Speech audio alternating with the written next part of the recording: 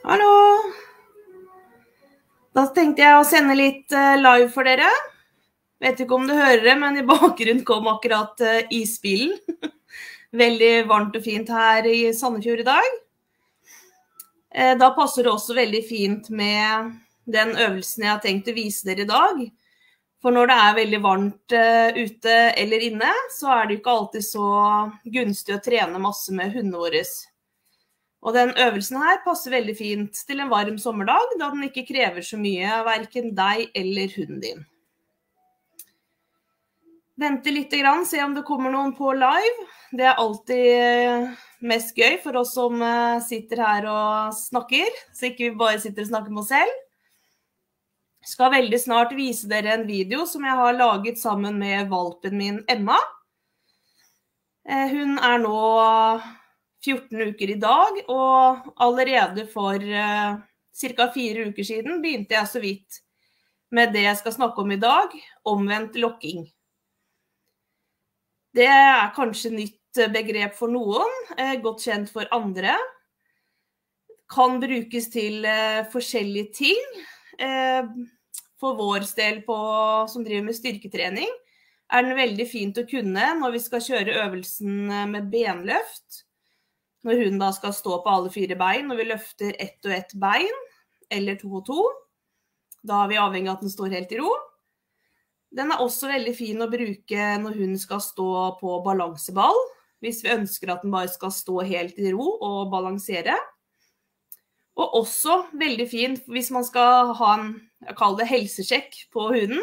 Hvis vi skal sjekke poter mens den står, eller øre, øyne, tenner, føle over den osv. Kan også for så vidt brukes litt for eh, utstillingsstå, men kan eh, gjerne kanskje modifiseres litt så den ikke står helt i veien for dommeren.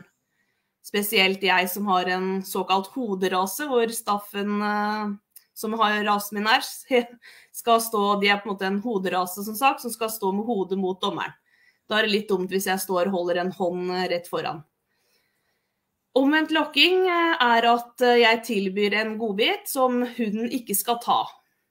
Høres kanskje litt slemt ut, men de finner ofte ganske raskt ut hvordan de skal få tak i den, og det er da med å ikke prøve å få tak i den. Forklarer det litt eh, i videoen, men litt kort aller først, er at jeg har en godbit i hånda mi, sitter på gulvet sammen med valpen tar hånda gjerne litt ut til siden av kroppen min, er ofte det enkleste, syns jeg. Åpner hånda mi. Hvis hunden, eller når hunden, prøver å ta godbiten, så lukker jeg hånda. Venter til hunden lar være å ta godbiten. Tar det for lang tid, så hjelper jeg hun litt med å prøve å holde seg unna. Da åpner jeg hånda igjen. Hvis hunden prøver å ta den igjen, så lukker jeg. Og så fort hunden lar være å ta den, så sier jeg bra, vær så god, og gir uh, godbit. Her er det litt viktig å tenke på at vi må belønne ganske raskt, for hvis vi heller ikke gir den godbit når hunden ikke tar den, så vil den ikke forstå hva vi ønsker. Senere så kan du heller da vente lenger og lenger før du gir godbit. Det ser dere litt i videoen, for jeg har klippet sammen en video som er laget for litt over to uker siden, og en video som er laget nå for 30 eh, minutter siden. Da ser dere litt av progresjonen eh, Emma har hatt på veldig få økter. Det som er litt greit å tenke på, er at vi holder hånda vår i en nøytral posisjon i forhold til hunden. Eh, og med det så mener jeg da at vi skal holde den gjerne da i snutehøyde, sånn at ikke hunden må strekke seg veldig høyt opp for å ta den. Det ser dere litt også på videoen, at jeg prøver å holde den sånn ganske i snutehøyde til eh, hunden. Da skal jeg få vist dere en video.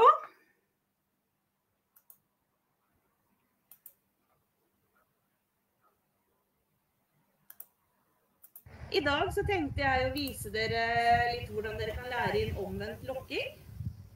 Eh, det er noe vi bruker veldig mye i styrketrening, i hvert fall hvis de skal stå stille på f.eks. en balanseball. Eh, vi bruker det når vi har øvelsen med benløft. Da er vi også avhengig av at hunden står helt stille. Eh, du kan også bruke den til å sjekke f.eks. ører, poter osv. har rett og slett en helsesjekk på hunden din. Da er det en fordel at den står litt i ro. Ja. Valpen min er litt ivrig i dag. Kom her, da. Der. Yes. Eh, Clouet her er at jeg tilbyr henne en godbit med en åpen hånd. Eh, så fort hun eh, Hvis hun prøver å ta den, så lukker jeg hånda. Eh, når hun roer seg igjen, så åpner jeg den igjen. Eh, hvis hun prøver å ta den, så lukker jeg den. Eh, clouet her er å være litt rask i starten med å belønne når de ikke prøver å ta den, sånn at de skjønner at det er det eh, vi ønsker. Det tok Emma to veldig korte økter før hun skjønte tegninga prøver seg fortsatt litt eh, med å ta den, men det er ofte bare første eller andre repetisjonen. Så jeg får ikke helt vist eh, mange ganger hvor jeg må åpne og lukke hånda. Men vi kan prøve. Kan dere se. Bra, vær så god. Ser dere, prøvde først å ta den. Har godbitboksen bak her, skjønner dere. Bra, vær så god. Og etter hvert, når hunden skjønner hva, hva den skal, så kan dere holde, lenge, vente lenger og lenger med å la dem få den. Bra, vær så god. Du ser hun prøver seg stort sett én gang for å se om hun faktisk må vente for å få den. Prøver å gjøre den litt mer morsom. Bra, vær så god. Som dere ser, så fryser hun på en måte i posisjonen ganske bra. Gjør ikke noe om den gjøres i dekk eller eh, stå eller Det er jo på en måte best i stå, men hvis du også har lyst på en måte en frys-sitt, uh, mener jeg, så kan du fint gjøre det òg. Bra, vær så god. Flink jente. Det var det jeg ville vise dere i dag. Håper dere forsto tegninga.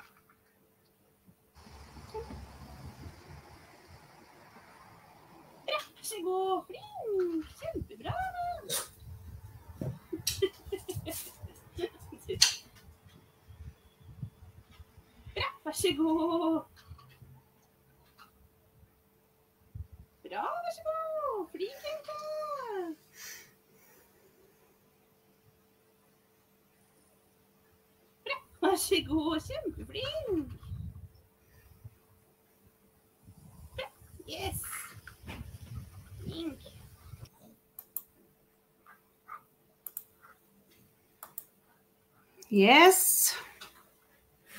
Håper dere forsto beskrivelsen. Fikk jo ikke filmet uh, de to første gangene jeg gjorde det, selvfølgelig. Så da har jeg ikke som sagt, da, de repetisjonene med å åpne og lukke flere ganger. Så blir det noen uh, snakkefeil underveis. Det er ikke bare å trene tolv ukers gammel valp og instruere samtidig. Men uh, regner med at alle forsto hva jeg ønsket å fortelle dere, da. Det var det jeg hadde i dag. Jeg har som sagt i overskriften, eller i teksten her, at uh, hovedverdien til alle oss som jobber på skolen, er at vi ønsker å gjøre verden et bedre sted for uh, hester og hunder. Så vi setter jo pris på alle dere følgere som uh, popper innom og får med dere mange tips vi deler, som forhåpentligvis kan bidra til at dere også enten kan finne flere aktiviteter å gjøre med hunden deres, eller noen supre tips eh, som kan bidra positivt helsemessig. Så lik og del videoene våre hvis eh, dere syns eh, det er noe nyttig. Da blir vi ekstra glade. Så ses vi om ikke så altfor lenge, tenker jeg. Ha det!